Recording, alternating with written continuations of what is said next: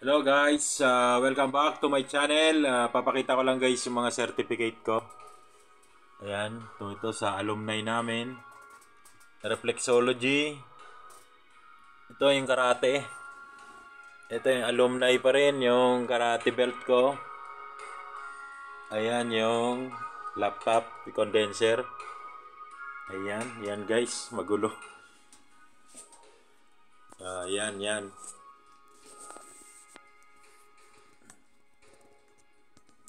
Tipit na kita dito. Ayun. Sa tripod ko. Ayan. Ayun guys. Oh. Dinidikit ko yung mga alaala natin. Yan. Dito lang sa aking munting kwarto bilang OFW. Guys. Ayan guys. Guys, may na na curious lang ako. Saan na yung kuha natin? Yung ballpen. Hayaan mo na yan. Guys, na-curious ako doon sa ano, napapansin ko sa mga nakakausap ko dito, ganun rin sa Pilipinas, mayroon rin ganun. Uh, di ko nasasabihin yung ano, yung anumang paniniwala nila kasi for ano, karapatan nila yon Uh, meron kasi dito, guys. Hindi ako mapakali. Gusto ko may ballpen lagi, guys. Ano? Ayun. Ayan, guys.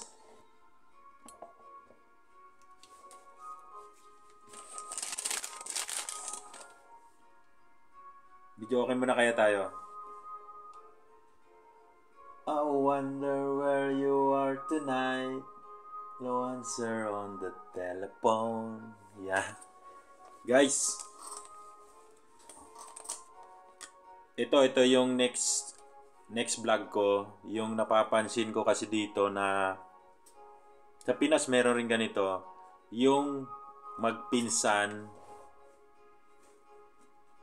uh, nag-asawahan Guys, magandang topic to pero ma- marami na rin ganito eh. Parang siyempre tayo mga vlogger uh, umahanap tayo ng ano, mga mga dahilan, opinion bakit nagkakaroon ng ganon. Yung kalimitan kasi guys na magpinsan,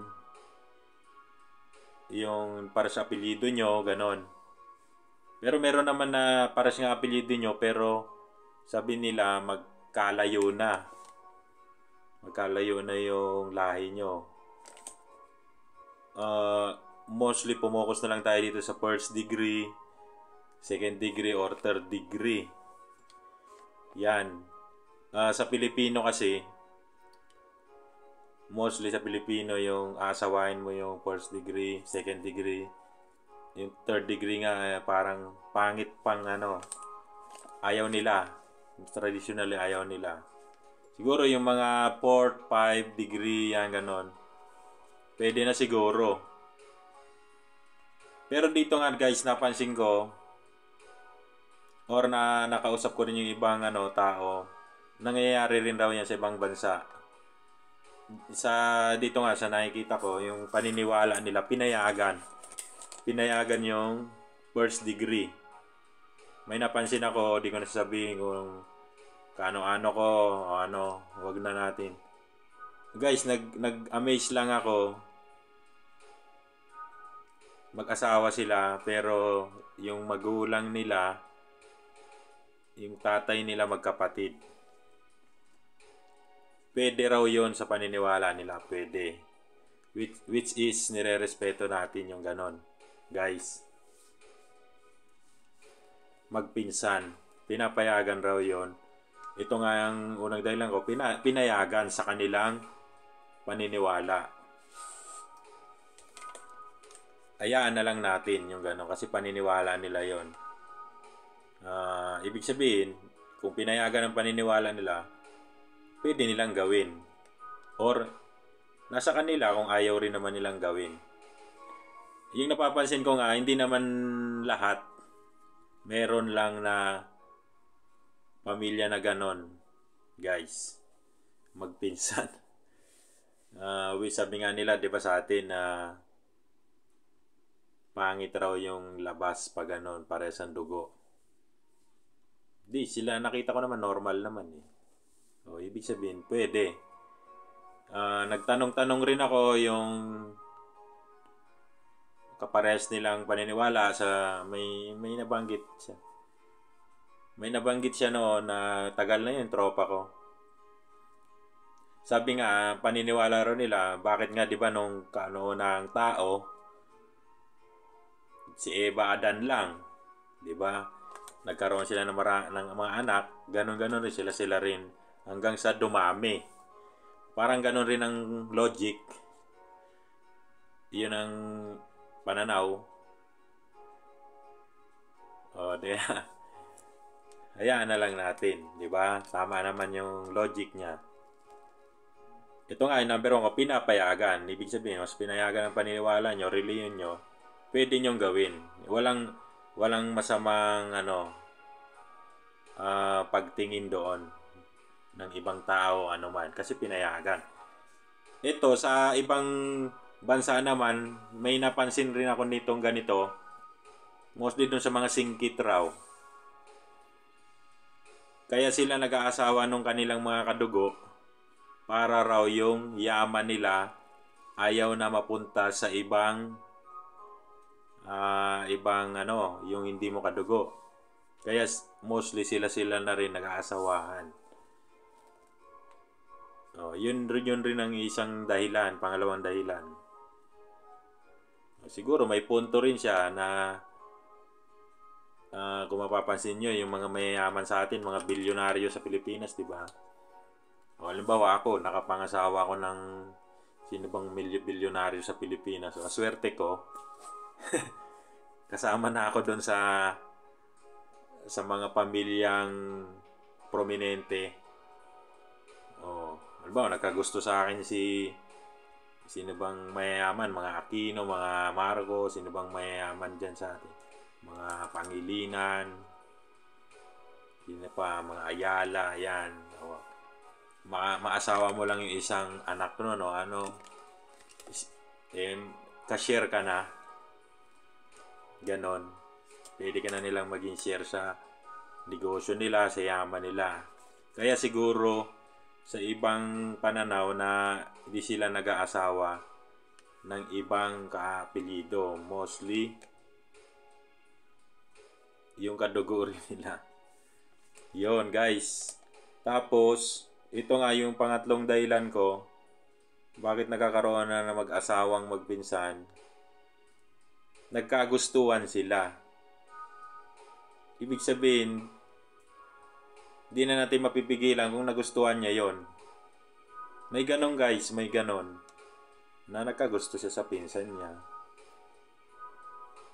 Ang tatanggalin na natin yung paniwala o ano, yung yaman. Once na umiral kasi yung puso, di mo na mapipigilan yan. May experience rin akong ganyan na di ko naman matagal kung di ko yung pala pinsan ko sa Facebook ay, di pwede kasi magpinsan pala. Akala ko di ko kaano-ano. Pala pinsan ko. Uh, third degree. Third degree or ano, sabi niya, magpinsan ba tayo? Hindi na pwede. Ganon. Kasi ayaw nga ng tradition namin o halos karamihan ng Pilipino ayaw ng ganon. Ito guys, Uh, yung pang-apat ko, aksidenteng nagkakilala o coincidence.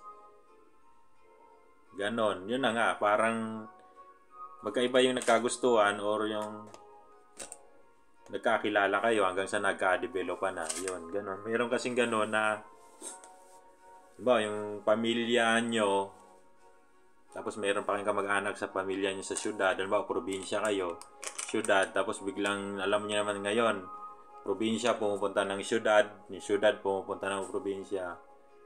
Tapos doon na nagkakamit-mit. O, di nila alam, akala nila, pangalan lang sinasabi hanggang sa nagkagustuhan. O, aksidenteng nagkakilala, aksidenteng may Alam nyo na. Oh, hanggang sa di nila alam na nalalaman na lang nila in the future na related pala sila. Yan guys. Kaya ito yung mga ano mga dahilan ng kaya nagkaroon ng magpinsang mag-asawa. Nangyayari to guys. Nangyayari ito nga napapansin ko nga dito sa Pinas napapansin ko rin. Uh, di ko na i-reveal merong ganong pamilya na minsan nga magkaparehas yung apelido. Yung tatay, halimbawa yung tatay De La Cruz, yung nanay De La Cruz, paano yon? Magpinsan. Oh. Meron naman iba tinatanggi. At hindi namin kaano-ano yan. Ba't nagkaparehas lang ng apelido? Yun. Kasi sa sobrang dami ng tao, nagkakaano, nagkakamit-meet na. Kaya, ganito na siguro ang mangyayari. Pero, uh, sa traditional nga na Pilipino, bawal pa rin yun. Yung first, second, third degree. Halos nga yung iba, ibang apelido na lang asawain mo, parang ganon. Yung sabi nila, yun lamang guys, ang masasabi ko dito, yung pananaw ko dito sa nagkaroon ng magpinsang mag-asawa. Kaya uh, ipapinaliwanag ko nga dito itong apat na dahilan, tanggapin na lang natin. Kaya nangyayari yon Ito nga, pinayagan ng kanilang paniniwala.